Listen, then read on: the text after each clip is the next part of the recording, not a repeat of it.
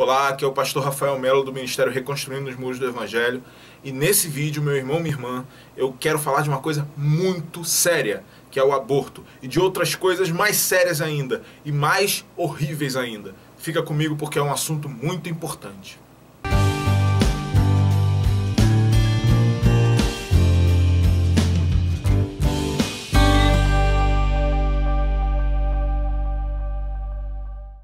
Bom, meu irmão, minha irmã, é muito sério. Primeiro quero dizer que eu não quero comentar como cidadão. Como cidadão tenho todo o direito de ser contra, de não votar em políticos que apoiam aborto. Enfim, protestar de todas as formas. Eu tenho, você tem, e eu faço isso. No entanto, eu quero falar como pastor. Eu, pastor Rafael Melo. Eu estou dando uma mensagem aqui. E como pastor, o que eu tenho que dizer e o que eu tenho que falar precisa passar pelo crivo do que Jesus diria, do que Jesus faria. Óbvio que eu sou infinitamente mais falho do que Jesus, não há comparação. Jesus nunca pecou. Eu sou, apesar de remido pelo sangue de Jesus, sempre estou pecando. Aquele que diz que não peca é mentiroso. Mas eu preciso me aproximar ao máximo do que as Escrituras me dão de exemplo do comportamento de Jesus. E, como pastor, eu quero dizer que não é possível que alguém em sã consciência, por mais que defenda o direito das mulheres, e eu concordo que as mulheres precisam ter os seus direitos garantidos, óbvio. Inclusive o direito de não engravidar. Inclusive o direito de usar o método contraceptivo. Inclusive o direito de usar preservativo. Ainda que o ideal é que não se tenha relações sexuais fora do casamento, mas se tiver, que use. Ah, pastor, e os casos de estupro? Enfim, eu não quero entrar nesses detalhes aqui, é óbvio que eu sou contra também, porque a criança é culpada do estupro. Ah, mas a mulher vai ter que conviver com aquela criança, mas qual é a culpa da criança? É a mesma da mulher, nenhuma. O que eu quero falar aqui é sobre o ato em si. Interromper uma gravidez é uma coisa inimaginável. Assistir vídeos de como abortos são feitos, fotos que você pode procurar na, inter na, internet, eu não vou colocar aqui. Mas se você quiser procurar, você vai achar. Bebês despedaçados, destroçados, hoje é 18 de janeiro de 2017, o meu filho mais velho, João Gabriel, faz 10 anos de idade. E eu lembro até hoje de quando ele nasceu. Eu tenho um outro filho de dois anos, Davi, nasceu há pouco tempo. Segurei os dois bem pequenos. Eu não consigo conceber um instrumento médico ou um remédio assassinando o bebê. Ah, mas a vida começa na concepção, quando a vida começa é no terceiro mês, é no segundo trimestre. Não importa. Olhe para um bebê, tem coração. Se mexe, tem os membros sendo formados. Óbvio que sabemos como cristãos que a vida começa na concepção. Mas meu irmão, minha irmã, milhões e milhões de bebês estão sendo mortos no mundo inteiro, no mundo ocidental. Nos Estados Unidos é um absurdo. Aborto é legalizado até os nove meses até os nove meses.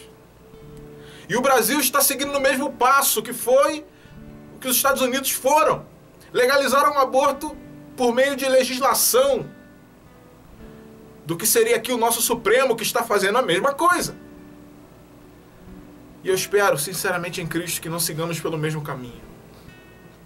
Crianças destroçadas, bebezinhos cortados em pedaços isso é uma indústria diabólica, maligna. Crianças e crianças sendo sacrificadas em prol de dinheiro. Se você duvida disso, eu vou deixar aqui na descrição desse vídeo um link para um documentário chamado Blood Money. Dinheiro sangrento, dinheiro de sangue. Nesse documentário é grande, assista clique nele, guarde aí nas suas, na sua fila para assistir. E assista quando você tiver tempo para assistir até o fim. E espalhe-o. Nele você vai ver os terrores, os absurdos, narrativas que vão te emocionar. Porque pense uma coisa, imagine que você tem um revólver na mão e que você aponte para a cabeça de uma criança de dois meses, de um mês, e que você atire. Nossa, que crime terrível. Mas essa mesma criança, se tivesse seis meses e não fosse nascida, ou seja, estivesse ainda sendo gestada por seis meses, não tem problema que alguém entre com tesouras e comece a cortá-la em pedaços para retirar os pedaços. Não, é o direito da mulher. Esquece a lei, meu irmão. Esquece o que a justiça decide ou não. Temos que lutar contra isso em oração e acolhendo essas mulheres, acolhendo essas crianças, que é muito fácil também dizer eu sou contra o aborto e não fazer nada. Eu sou contra o aborto e quem estiver me ouvindo aí que quer abortar, tenha a criança e me entregue, porque eu vou cuidar dessa criança. Eu adoto a sua criança, mas por favor, não aborte. E se houver muitas crianças para eu adotar e eu não conseguir, o Ministério Reconstruindo os Mundos do Evangelho cria um setor especializado em cuidar dessas crianças, criamos uma instituição, fazemos o que for para que uma criança não seja morta. Tenha sua criança. Entregue. Ou para outras instituições, ou para mim que eu adoto. Se eu não tiver mais condições de adotar muitas, entregue. Para quem também faz isso, nós vamos procurar. Entre em contato. Tenha sua criança e entre em contato comigo, com Reconstruindo os Mundos do Evangelho. Nós vamos te ajudar. Só que eu quero falar de coisas mais horríveis ainda do, do que o aborto. Você vai assistir o documentário. Você pode até dar um pause e assistir lá e voltar aqui. Mas eu recomendo que você assista depois. Tá na descrição o link. Nós achamos terrível. Horríveis as cenas, fotos e descrições dos campos de concentração de Hitler na Alemanha, onde mulheres, crianças, homens, idosos eram mortos como gado, pior do que gado, porque gado ainda morre para alimentar as pessoas. Aquelas pessoas morriam só porque alguém decidiu que elas não tinham direito de viver. É tão terrível quanto o aborto.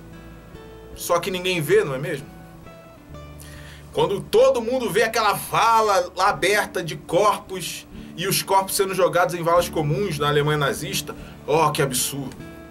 Ora, milhões e milhões de bebês morrendo, sendo jogados no lixo comum, em muitas vezes, descendo pelo vaso sanitário, da descarga e ninguém vê. Muito se engana quem pensa que isso para Deus não é a mesma coisa. Só que eu falei aqui de dois horrores. Mas há um horror pior do que esse, é essa reflexão que eu quero trazer para você.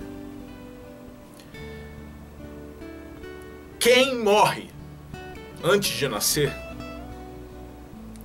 embora já vivo no ventre da sua mãe, é uma criança inocente.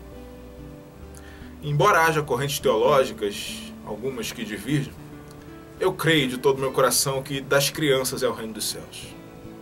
Que crianças estão salvas. Então todas elas, apesar do terror que é o aborto, de termos que lutar contra ele, pelo direito de nascer, de viver, do mesmo jeito que lutamos para que crianças e pessoas não sejam assassinadas no meio da rua e achamos normal ela vai estar com Cristo. Mas e as pessoas à nossa volta que morrem caminhando para o inferno e nós não ligamos? Quantas pessoas à sua volta estão agora caminhando para a perdição. E você não anuncia o evangelho. E você não prega.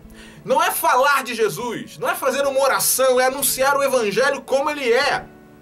Se você tem alguma dúvida do que é o evangelho, assista os vídeos desse canal. Há uma, uma série chamada O Evangelho em Assuntos. E muitos é, artigos no nosso site também sobre isso. Pregar o Evangelho como ele é. Ora, irmãos, estou indo para o inferno. É terrível o aborto. Mas elas foram, as crianças, vão estar com Cristo. Agora, uma pessoa pode morrer, não ser assassinada passar o resto da eternidade no inferno. Jesus deu descrições terríveis. O verme não morre, o fogo não apaga. Separação total de Deus, justiça de Deus, ira de Deus. O inferno é terrível, diz a Bíblia, porque o cordeiro estará lá, cumprindo a justiça de Deus. Enquanto a vida, o sacrifício do cordeiro é o que você vai anunciar. O Filho de Deus que morreu pelos homens, pelas mulheres, por todos aqueles que se arrependem dos seus pecados e confiam nele para a salvação. Não se preocupe se a pessoa vai se converter ou não, vai, se, vai te ouvir ou não. Anuncie o Evangelho, nós estamos vivendo tempos finais, os sinais estão para todos os lados. Óbvio que eu não estou falando para você ser mal educado, você ser chato e falar para quem não quer ouvir.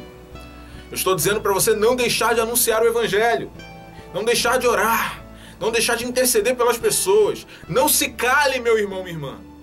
Você achou o aborto um absurdo? Viu o documentário? Você vai ver o documentário, você vai achar um absurdo. É provável que você compartilhe esse vídeo, que você compartilhe falando contra o aborto, mas pior ainda, é cristão é o fato de tantos cristãos, pelo menos confessos, não sei se verdadeiros, na maioria parece que não, existirem no nosso país e pouquíssima pregação do verdadeiro evangelho ocorrer. Ficamos preocupados com coisas que podemos ver e tocar. O aborto é terrível, sim, mas mais terrível ainda é a perdição da alma. Então, meu irmão, minha irmã, lute contra o aborto, fale contra o aborto, compartilhe esse vídeo, compartilhe o documentário, sim, seja contra, se revolte, mas tenha uma comoção maior no seu coração em relação às pessoas que estão caminhando para a perdição eterna e muitas vezes estão do seu lado, na sua família, na sua igreja, na sua vizinhança. Anuncie o Evangelho, seja um canal de Deus para anunciar o Evangelho. Porque, pelo menos, essas crianças mortas covardemente no aborto estão com Cristo. Mas e os que estão à nossa volta? E estarão perdidos eternamente. Pense nisso. E eu quero deixar uma palavra: se você já fez um aborto, óbvio, se você se arrepender e crer em Jesus, há perdão para você e se prepare para encontrar o seu filho no céu. Que Deus nos abençoe, em nome de Jesus. Se você gostou desse vídeo, clique em gostei. Se estiver no Facebook, clique em curtir, compartilhe, espalhe e ajude o Ministério Reconstruindo os Muros do Evangelho a levar o verdadeiro Evangelho adiante. Ajude a cada pessoa que precisa ver esse vídeo, assistir esse vídeo e faça com que essa mensagem chegue a mais pessoas. Pode também deixar o seu comentário com qualquer dúvida ou também sugestões para os próximos vídeos, tá bom? Deus abençoe você, em nome de Jesus, e até o vídeo da próxima semana. Tchau!